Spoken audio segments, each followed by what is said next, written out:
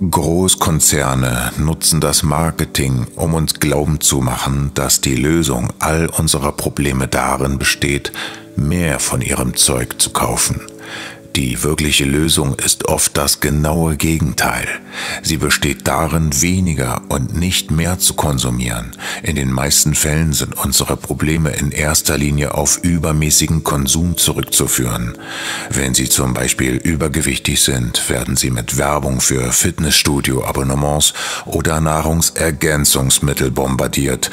Aber der Schlüssel zum Abnehmen ist weniger Essen, nicht neue Schuhe und Proteinpulver. Oder wenn Sie mit Kopfschmerzen und Stress zu kämpfen haben, wird man versuchen, Ihnen Kopfschmerztabletten und Antidepressiva zu verkaufen. Aber um Stress wirklich abzubauen, sollten Sie anfangen, mehr zu schlafen und mehr zu gehen, anstatt spät nachts Unterhaltungsprodukte zu konsumieren und in sozialen Medien zu surfen. Tabletten sind nie als dauerhafte Lösung gedacht. Sie verlieren mit der Zeit an Wirkung und verursachen Nebenwirkungen, die wiederum mehr Tabletten erfordern. Wenn Sie sich einmal auf die endlose Reise des Konsums begeben, geraten Sie in eine Falle, die Sie unglücklich und die Unternehmen glücklich machen soll. Durch die Evolution hat uns Mutter Natur dafür ausgerüstet, effizient mit Ressourcendefiziten umzugehen, aber sie hat uns nie auf ein Leben in der relativen Fülle vorbereitet, die wir heute haben.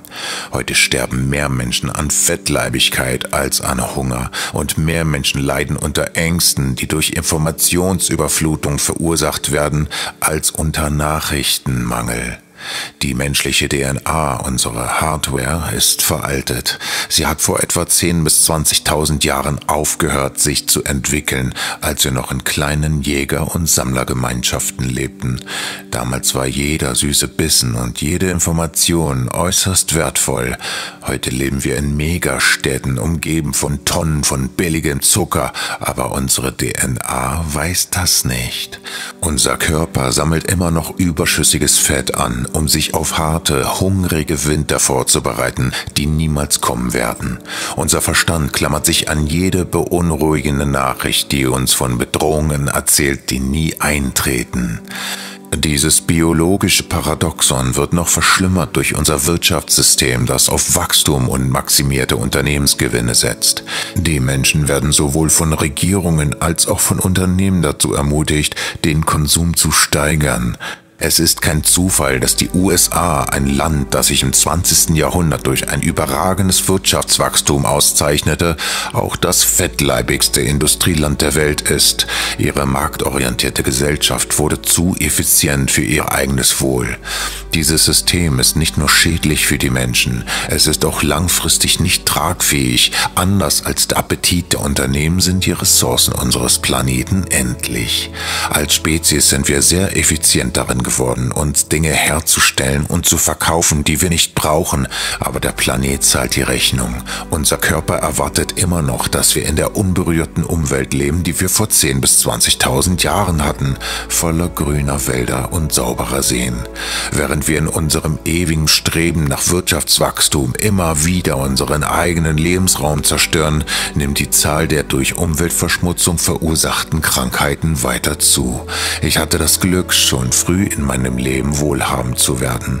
Als ich 22 Jahre alt war, hatte ich eine Million Dollar auf meinem Bankkonto. Mit 25 Dutzende von Millionen, mit 28 Hunderte von Millionen. Dies war jedoch nie das, was mich glücklich gemacht hat. Mein wirkliches Glück war, dass ich ziemlich früh erkannte, dass die lohnendste Art der Beschäftigung darin besteht, Dinge zu erschaffen und nicht darin, sie zu konsumieren. Anstatt also Yachten, Flugzeuge und teure Immobilien zu kaufen, konzentrierte ich mich auf das, was mir am meisten Spaß machte, soziale Plattformen zu schaffen, die hoffentlich der Menschheit Gutes bringen. Ich habe den größten Teil meiner persönlichen Mittel für Telegram ausgegeben, damit die Menschen einen kostenlosen Dienst genießen können, der nach Perfektion strebt. Ich betrachte die Fähigkeit, Dinge für andere zu schaffen, als mein wertvollstes und lohnendstes Gut. Ich vermute, dass einer der Gründe, warum ich zufällig wohlhabend geworden bin, um das zu tun, was ich liebe, darin besteht, dass Geld für mich nie ein wichtiges Ziel war. Als ich studierte, habe ich gerne Spiele und Websites erstellt. Damals galt das als Beruf für Streber. Von vielversprechenden Studenten wurde erwartet, dass sie Jura praktizieren oder Geschäftsfälle lösen. Aber ich habe mich nie wirklich darum gekümmert, wie andere Menschen Erfolg definieren. Für mich bestand Erfolg in der Fähigkeit, Zeit darauf zu verwenden, Dinge zu erschaffen, die mir gefielen. Ich bereue nie, dass ich nicht teure Sachen gekauft habe, mit denen sich wohlhabende Leute gern umgeben. Das Einzige, was ich bedauere, ist, dass ich nicht mehr Zeit habe, um Dinge zu erschaffen. Wir leben in einer Zeit, in der die Möglichkeiten für menschliche Kreativität endlos sind.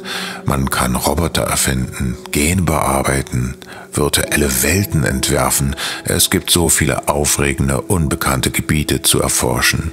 Ich hoffe, dass mehr Menschen Freude darin entdecken, Dinge für andere zu erschaffen.